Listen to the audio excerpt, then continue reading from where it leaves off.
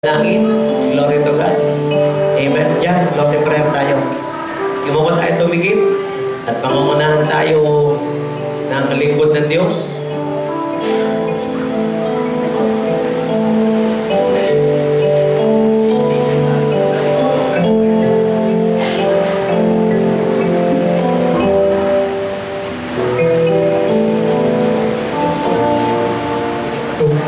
Yes, Lord, hallelujah.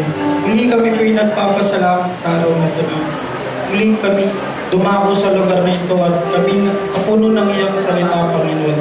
Kaya mo sa aming pag-uwi, Panginoon, at sa aming pansamantalang paghiwa-hiwalay, Panginoon, ay aming madala ang inyong mensahe sa araw na ito ngayon. At tunay nga na mat- mat- matagpuan namin ang tunay na kaligayahan, Panginoon, sa iyo.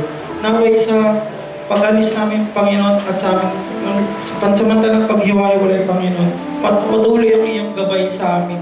Ikaw maging kalakasan, wisdom ng bawat isa, Panginoon, na sa aming pag-alis sa lugar nito, Panginoon, patuloy ang glory sa bawat isa, Panginoon.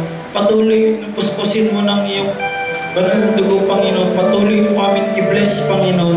At sa darating na araw ng Sabado at Linggo, Panginoon, muli kami idako mo sa lugar na ito, Panginoon. At ang Diablo sa aming mga buhay, Panginoon. At muli, inahangat, inihingi po namin ng true happiness sa iyo, Panginoon. Inahangat po namin ang tunay na kaligayahan na nagmumula sa iyo, Panginoon.